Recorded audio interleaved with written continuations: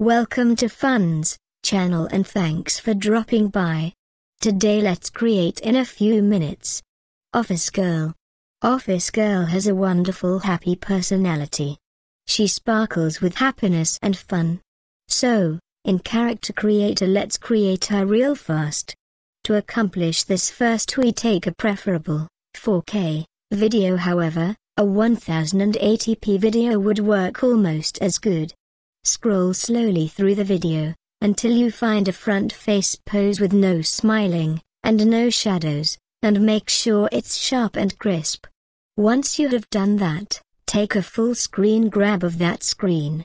Then in Character Creator 4 bring that face picture into the Character Creator 4 plugin called Headshot.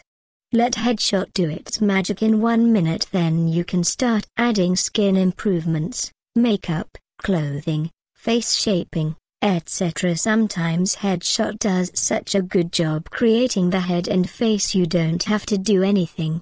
Especially, if you provided a really really good front face picture. You will be amazed that really that will create a much better character with so much less work.